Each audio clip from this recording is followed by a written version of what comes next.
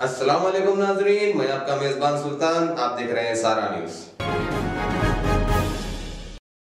गोरखपुर में बहुत संगीन मामला सामने आया है। एक बच्ची हम लोगों के साथ है 20 साल इनकी उम्र है, और ये अपने परिवार के साथ इलाज कराने गई थी गोरखनाथ थाना क्षेत्र में, और वहाँ से ये थोड़ा दूर पर अपने परिवारजनों से भटक गई शौच के चक्कर में, और वहाँ से वो मदद मांगने के लिए पुलिस चौकी पर गई। कौन सा पुलिस चौकी है? कौड़िया। कौड़िया हवा पुलिस चौकी है, गोरखनाथ थाने के अंतर्गत आता है। वहाँ पर जाकर दो पुलिस वालों से मदद मांगी। पुलिस वालों ने इनको कल रात कल शाम को बैठाया, अपने गाड़ी पर जबरिया बैठाया, उसके बाद ये रेलवे स्टेशन के पास कहीं ले गए, किसी ढाबे में। वहाँ इनके साथ दुष्कर्म किया है। इनके साथ मारपीट किया है। उसके बाद फिर रात में रात में ही किसी ऑटो में बैठा करके इनको भेज दिया गया इनके घर भेज दिया गया तो अभी लोग लज्जा के डर से घर वाले कुछ बोल नहीं रहे थे। और इस बात को दबाना चाह रहे थे कि लड़की के शादी विवाह में कोई दिक्कत आ सकती है। तो उन्होंने नहीं कहा, लेकिन अभी इसकी तबीयत थोड़ा खराब हुई है तो फिर यहाँ पर ये इनको डिस्ट्रिक्ट हॉस्पिटल लाया गया है।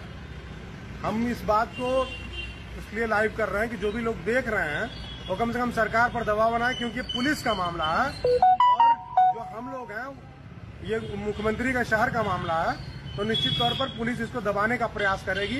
पुलिस सोचेगी कि हमारी बदनामी ना हो। इस नाते ये वीडियो लाइव कर रहे हैं कि ज़्यादा से ज़्यादा लोगों तक तो ये बात पहुँचे और ये मामला दबे न, इस लड़की को इंसाफ मिले। दिन दहाड़े किसी बच्ची के साथ अगर इस तरह की कोई घटना हो जाती है वो भी मुख्यमंत्री के शहर में तो आप समझ सकते हैं कि पूरे देश की स्थिति क्या होगी, पूरे प्रदेश की स्थिति क्या होगी। हम थोड़ा सा बातचीत करेंगे इस बच्ची से और आप लोग इस वीडियो को देखिएगा और दबाव बनाइए सरकार पर कि ये क्या हुआ था तुम्हारे साथ बताओ तुम। दीदी के घर हाँ। दवा कराने के लिए तो दी, थोड़ा ज़ोर से बोलो। दीदी के घर पे गए थे हम दोनों हाँ। मम्मी और हम। हाँ। तो दीदी मम्मी थोड़ा पीछे रह गई हम आगे चले आए। हाँ। उसके बाद दो दो पुलिस वाले थे गाड़ी से तो हम जा रहे थे तो बुला रहे हैं कह रहे इधर आओ इधर आओ। हम कहे कि मेरी मम्मी आ रही है पीछे हमको कुछ काम था हम दवा कराने जा रहे थे। हम्म हम्म। तो बोल रहे हैं कि चलो हम तुमको छोड़ देंगे तुम झूठ बोल रही हो तुम धंधा करने वाली हो।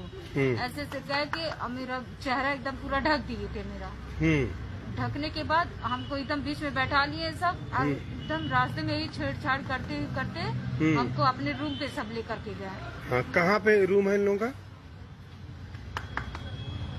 रेलवे स्टेशन के पास। रेलवे स्टेशन के पास है। ठीक है उसके बाद?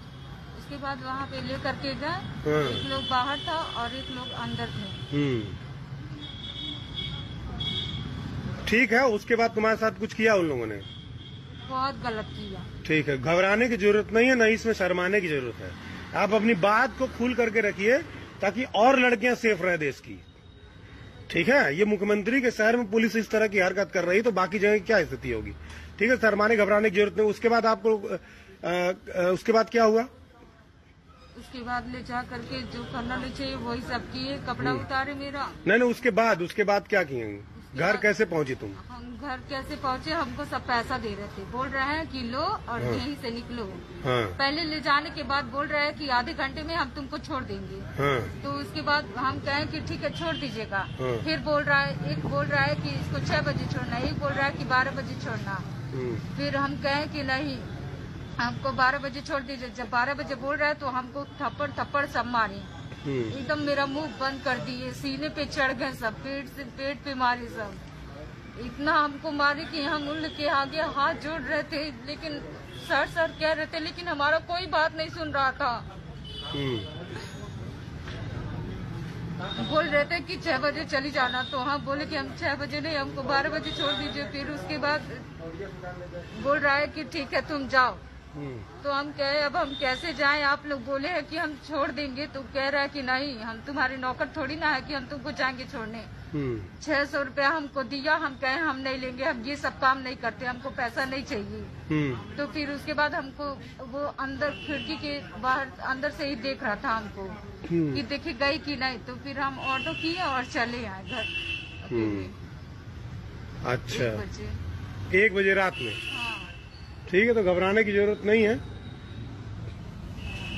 ये गोरखपुर का मामला है मुख्यमंत्री जी के शहर का मामला है और इसमें दोषी लोग पुलिस हैं।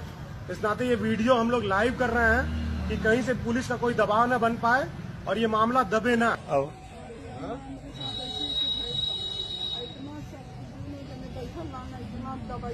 अंदर अंदर